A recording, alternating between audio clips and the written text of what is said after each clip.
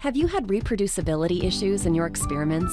All scientists have at one time or another. In fact, contamination and misidentification of cell lines contributes to the loss of 1 billion per year in research dollars. Only one third of labs report that they test their cells for identity. For a researcher receiving an average of $450,000 in a four-year grant, authenticating annually will only cost $1,000 or 0.2% of the award. Many journals, as well as the NIH, are requiring or strongly recommending the authentication of cell lines for publication and funding.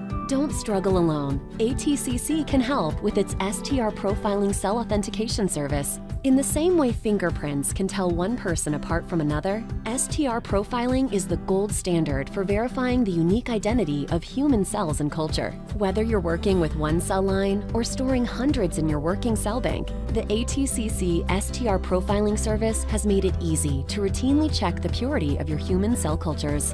The STR profiling service begins with the FTA sample collection kit. The barcoded kit is a simple, all-in-one solution for safe isolation, storage, and transport of cell DNA samples to ATCC for analysis. We've taken all the guesswork out of STR profiling with easy-to-follow instructions and everything you need to prepare DNA samples right from the culture dish.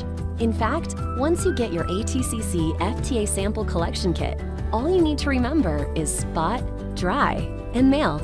ATCC provides comprehensive resources and support for your cell authentication needs. With expert interpretation of the results, reports delivered in five business days or less. ATCC makes cell authentication easy. Test your cells, trust your data.